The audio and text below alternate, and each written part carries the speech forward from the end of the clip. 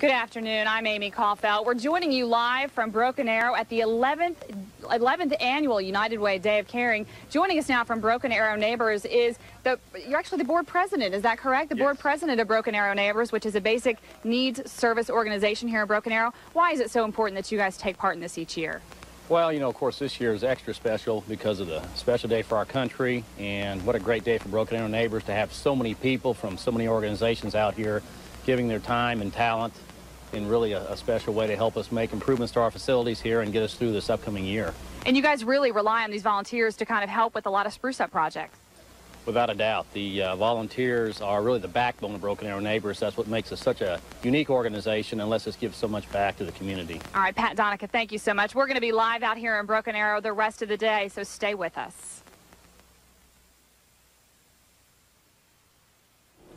As part of the Garbe family, I wish to express our support for not only our great and caring community, but our nation as well. We stand proud to be part of America and are confident that our community and nation will continue to be strong during this sensitive time. We extend our heartfelt gratitude for the men and women defending our country and give thanks and praise to the heroes that gave their lives in this tragedy.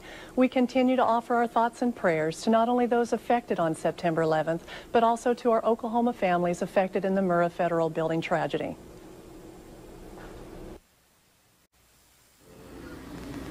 Good afternoon. I'm Amy Kaufeldt. We are live in Broken Arrow at the 11th annual United Way Day of Caring. We're at Broken Arrow Neighbors. It's a basic needs organization. And we've got a large group of Nordam employees who are out here volunteering, doing a lot of spruce up work, having a good time while they're doing it too. Joining us is Randy Owens. Randy is a volunteer and you also work at Nordam. Tell me, what has it been like out here this morning? It's really been fun. We've done a lot of work. Uh, we've had a good time uh, just helping other people. It obviously makes you guys feel really good to be out here. You wouldn't be volunteering. Why did you decide you wanted to volunteer for this? Uh, just for that reason. It, it does make you feel good, and to help people that uh, need help, uh, it's just a good thing. When you found out that they were going to be doing this on the anniversary of 9-11, how did this kind of the Day of Caring fit into what 9-11 is all about?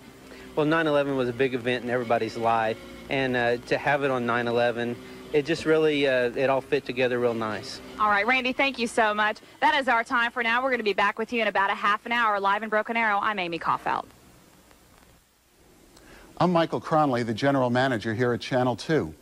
Today, most of our programming is devoted to looking back at last year's terrible events. You won't see any paid commercials until we resume normal programming at 10 o'clock tonight. The announcements you're seeing instead are messages from our friends in the community and here at the TV station. I'd like to thank you for watching Channel 2 and for joining us today as we honor the heroes and remember the victims of the terrorist attacks one year ago.